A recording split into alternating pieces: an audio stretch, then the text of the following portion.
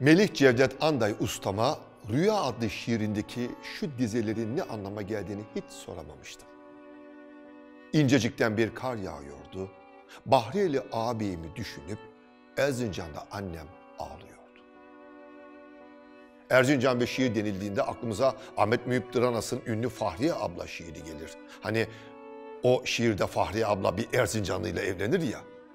Ama bir Erzincan daha var şiirimizde. Melih Cevdet Anday'ın dizeleri. Bahriyeli abimi düşünüp Erzincan'da annem ağlıyordu. Ne oldu? Tarih 23 Haziran 1941. İkinci Dünya Savaşı başlamış. Biz savaşa girmeyeceğiz ama donanmamız güçlü olsun diye İngilizlere dört denizaltı sipariş etmiştik. Ve o gün Mersin Limanı'ndan Refah adlı bir vapur kalkar İngiltere'ye doğru. Yolcuları mürettebatımız, denizcilerimiz, denizaltıları alıp ülkemize getirecek olan Bahriyeliler. Ama Refah adlı vapur limandan ayrıldıktan kısa bir süre sonra Akdeniz'de batırılır.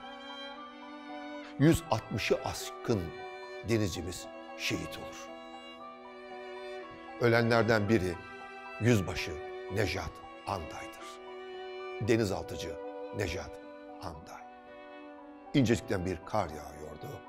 Bahriyeli abimi düşünüp Erzincan'da annem ağlıyordu.